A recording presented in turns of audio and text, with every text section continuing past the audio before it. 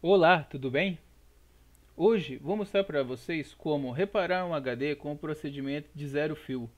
Também ensino como solucionar um erro quando o programa HD Tuner pede para deletar todas as partições de um HD. Uso uma ferramenta do próprio Windows para solucionar esse problema.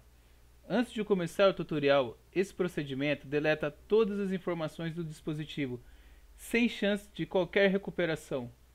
Caso o seu HD esteja corrompido e o Windows não o reconhece, recomendo que assista o meu vídeo sobre reparar arquivos sem formatar a unidade.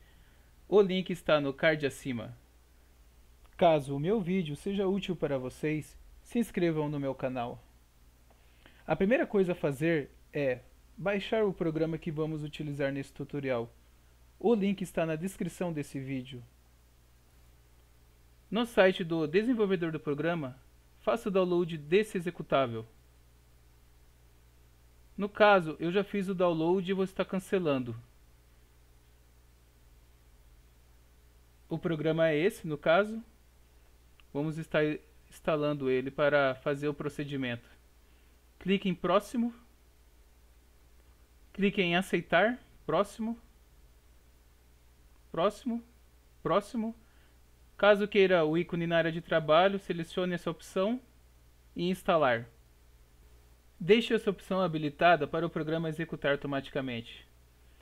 O software nos dá 15 dias antes de registrar, tempo mais que suficiente para fazer os procedimentos. O programa tem algumas opções interessantes ele tem várias opções que nós não vamos utilizar nesse tutorial, como por exemplo fazer um scanner rápido para identificar problemas no seu HD. Porém, o objetivo do vídeo é apenas fazer o reparo do dispositivo. Aqui está a opção que nós vamos utilizar, de zero fio, já vem habilitado por padrão. Agora nós vamos selecionar o HD que vamos fazer o reparo. No meu caso, eu vou estar selecionando esse de 1 tera Após selecionar esse dispositivo, vamos começar o processo de reparo do HD. Deixe a opção zero fio selecionada e clique em Start. Caso esse erro ocorra com você, será necessário deletar todas as partições do seu HD. O programa não iniciará caso tenha alguma partição protegida no seu dispositivo. Para remover essas partições, digite na barra de pesquisa do Windows Meu computador. Em seguida, botão direito Gerenciar. Abrirá uma janela do gerenciamento do computador. Procure por Gerenciamento de disco. Selecione a unidade que você deseja deletar as partições. No meu caso, esse disco 3. Botão direito em cima, excluir volume tenha certeza que será esse o volume excluído, porque as informações serão deletadas permanentemente. Após remover as partições, volte o programa e start novamente. Caso ainda ocorra esse erro, será necessário um outro procedimento, que é uma ferramenta nativa do Windows. Os comandos estarão na descrição do vídeo e essa ferramenta que nós vamos utilizar é o DiskPart. Para acessar esse programa, digite na barra de pesquisa DiskPart, conforme estou mostrando, e execute como administrador. Como expliquei, todos os comandos estarão na descrição do vídeo. Faça exatamente conforme estou fazendo. O primeiro comando é o listdisk para mostrar os dispositivos que estão instalados na máquina. No meu caso, é o disco 3. Escreva Select Disk mais a unidade. Disco selecionado, no meu caso é o 3. O próximo comando é list partition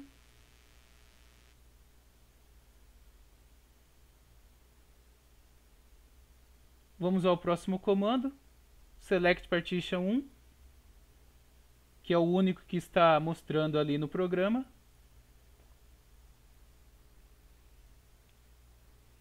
Já foi selecionada a partição. E agora delete partition.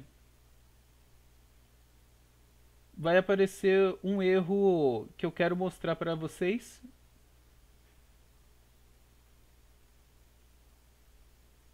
Já vai aparecer o erro. Olha lá, o erro fala que não é possível excluir uma partição protegida. No caso, é, vamos utilizar esse último comando. Pode copiar, colar ou digitar normalmente. Agora sim, a, o programa excluiu com êxito a partição selecionada. Agora nós podemos fazer é, o procedimento lá no, no programa, no HD Tuner. Não há mais nenhuma partição no, no meu HD. Selecione a unidade, Start. É, esse erro aconteceu porque o programa já estava aberto. Cancele, feche o programa e abra novamente o HD Tuner.